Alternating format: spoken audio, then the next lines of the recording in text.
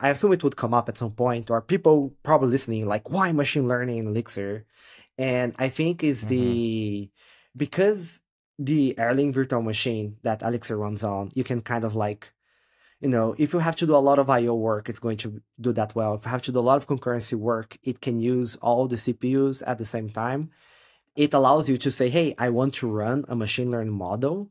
You can actually just run that machine learning model as part of your app. You don't need to like, hey, you know, I have this machine learning model. Now I have to pay like Amazon to run it for me, or I have to figure out like this right. whole other service that I have to version it separately. If you want, you don't have to.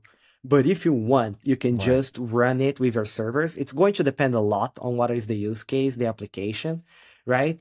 But at the same time, because again, like Erlang is distributed. If you say, hey, I started running with my web servers, but now the load is increasing and I want some machines with GPU, you just connect them with the distributed Erlang. So if you're running on fly, that mm-hmm. happens by default. And I will say, hey, I just want this machine learning task to happen on those machines with GPU. And you don't change anything in the code. You just say where which part is running the machine learning model. So I think mm. I think that's one of the the the exciting things and when you say like oh we are small i think it, it's one of the appeals of just allowing people to play with those ideas and embed within their apps.